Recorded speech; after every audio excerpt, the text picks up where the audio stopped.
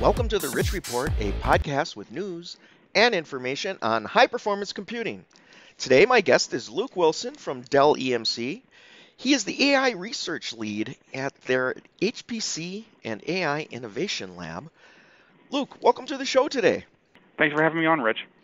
Well, Luke, I, I was really glad to get a hold of you today, uh, right in time for supercomputing. You've got a fascinating topic here brain decoding using neural networks to read minds. Oh, what do you mean by that? So, this is a project that we've been working on. Um, it's actually run out of McGill University, uh-huh. uh, but in collaboration with us and Intel and the Montreal Neurological Institute.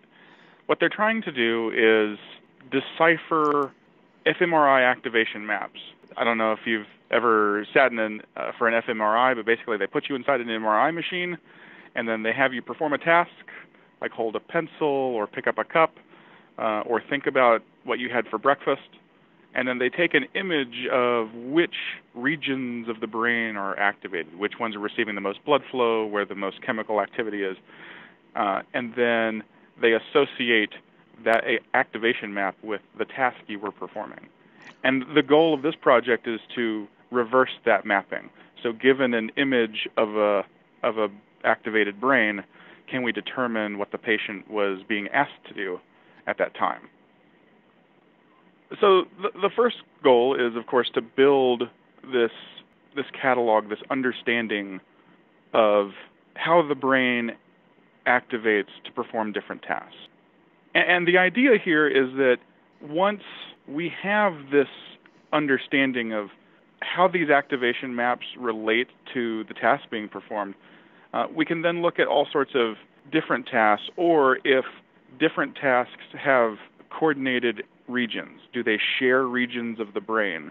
You know, so if two different tasks that seem unrelated share portions of that neuron area, the end goal would be to then figure out how the brain is able to do that context switch. How can it use the same set of neurons to do two completely different tasks? Whereas artificial neural networks right now only understand how to do one thing at a time. You can't have the same neural network performing two different tasks simultaneously. So the way we apply AI, it's very it's it's a single purpose kind of thing, unlike the brain, which is multitasking. Yeah, exactly. So artificial neural networks, of course, first discussed and you know first crudely put together back in the 1950s and 1960s, but were meant as a way of helping us understand the human brain. We were hoping to figure out what intelligence was by replicating that connection system in a computer to see if we could replicate some of the same capabilities that we have that we as humans consider intelligence um, in a machine. And that process continues on. You know, the use of neural networks is not just about you know, finding dogs, cats, and sandwiches in pictures off the internet. The end goal is really to figure out what makes humans intelligent, and then if we can impart some of that intelligence to the system itself. So, are you trying to build better uh, neural networks as a result of this? Exactly. So, the, yeah, the end goal would be to build better neural networks. If we can figure out how to reuse areas of artificial neural networks in the same way that areas of the brain are reused for other tasks, then we can make our artificial neural networks much more modular. We can use, you know, kind of a building block approach to them where we can swap out parts or use the same part in multiple tasks or connect multiple sets of inputs to multiple internal regions of, of the neural network so that it can simultaneously perform multiple tasks.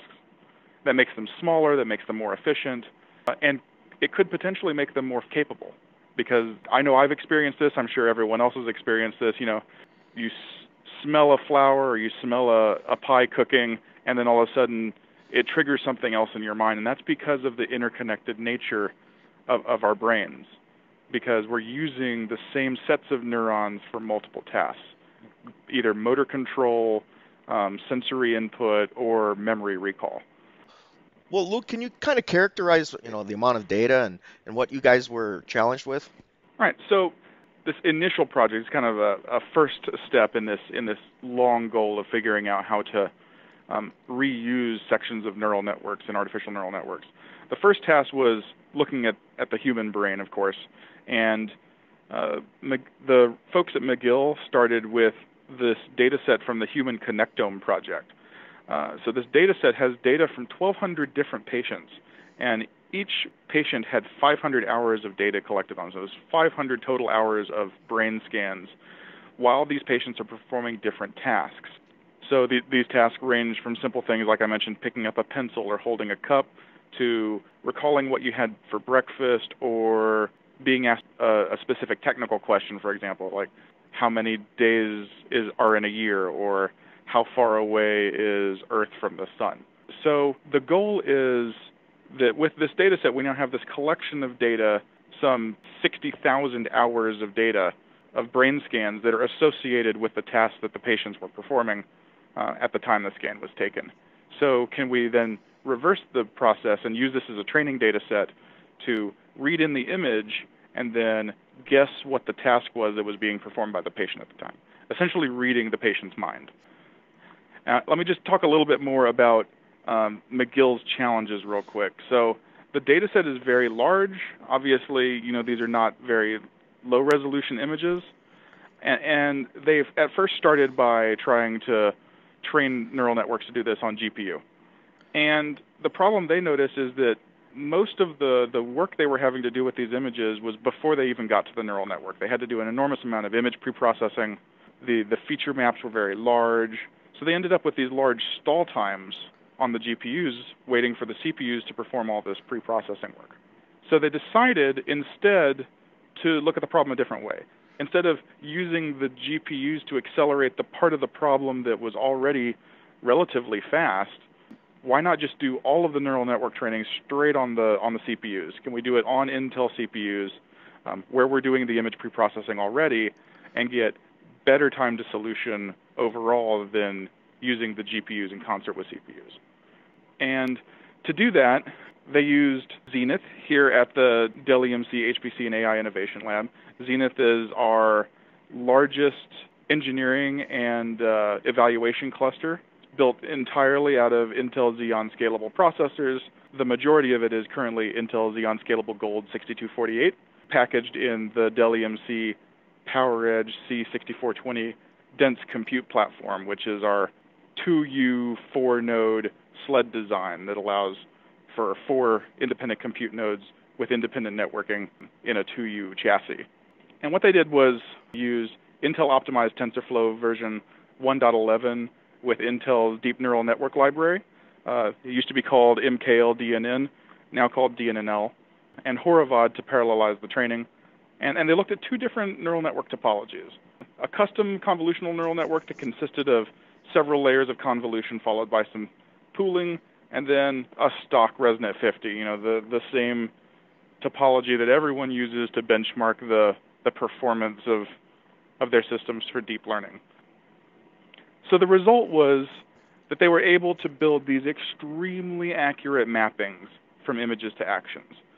Uh, I think w- one of the things that, that was discovered over the course of this process was that the mapping the the mappings themselves were actually very concrete.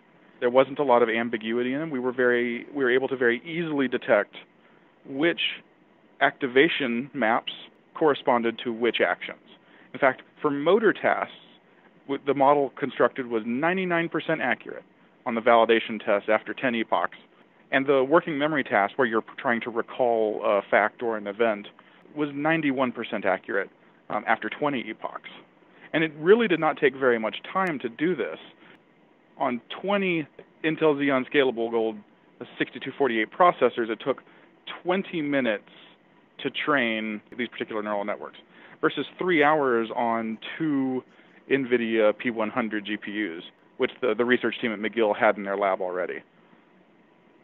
And so, because of the availability of CPUs in comparison to GPUs, you know, the, the, the thing about GPUs is they're great. They accelerate a ton of workloads. They can really reduce the time to solution, but sometimes it's hard to get a hold of them. Um, they're usually the most heavily requested resources in a data center. They're hard to get a hold of, but CPUs are everywhere. And so if you can train on CPUs using a little bit of scale out parallelism, and uh, and you're already doing a lot of heavy image preprocessing on the CPUs anyway, uh, you can just stay on the CPU and and get better results, better time to solution uh, without having to take that extra step. So you have an abundant resource in the CPUs, right? Because the servers, there's cloud, there's all kinds of things.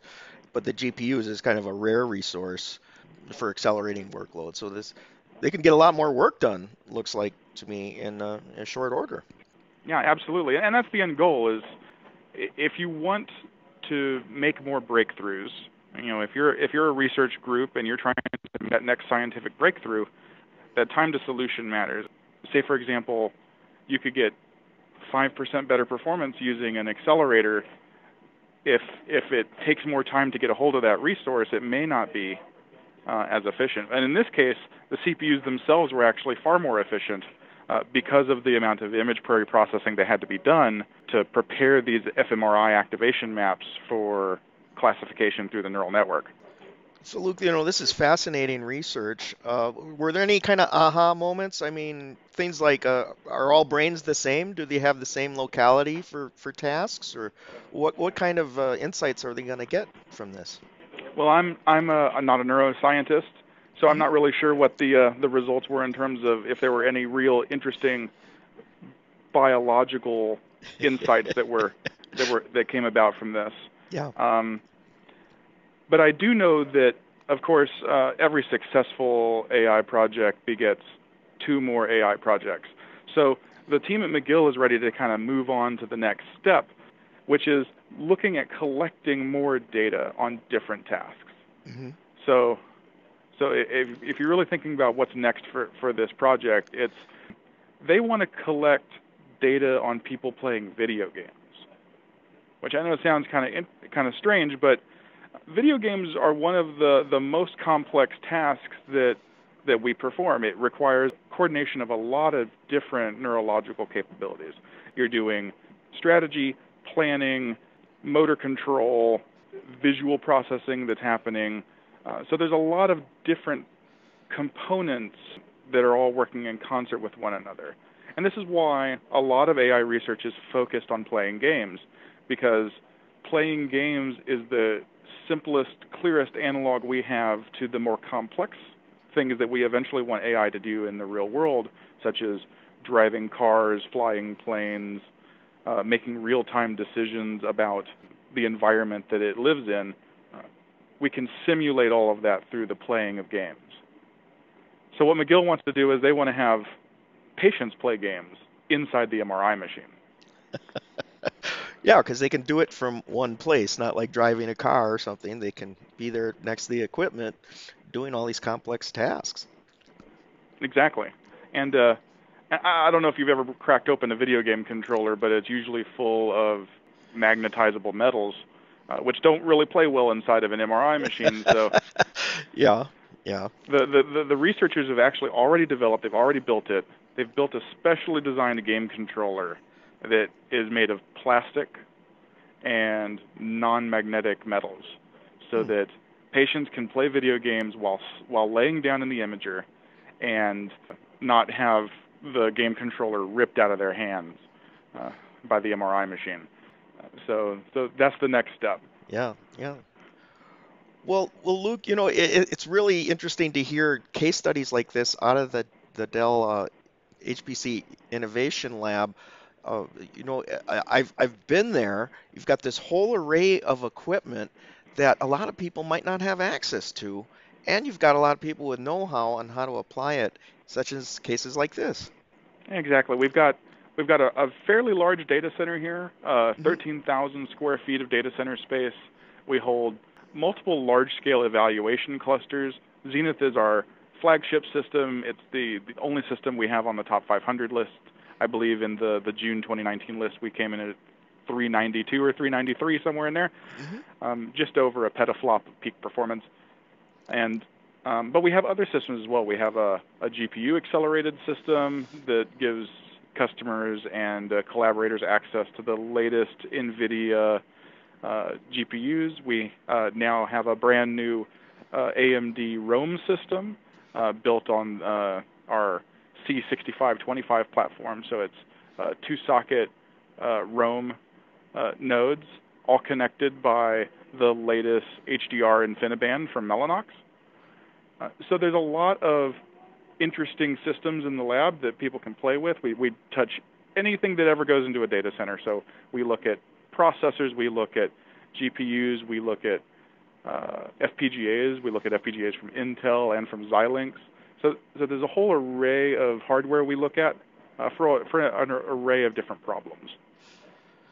Well, great, Luke. You know, this has been a, a very interesting case study, and I want to thank you for uh, coming on the show today. Thank you so much, Rich. I really appreciate it. Okay, you bet. All right, folks, that's it for the Rich Report. Stay tuned for more news and information on high performance computing.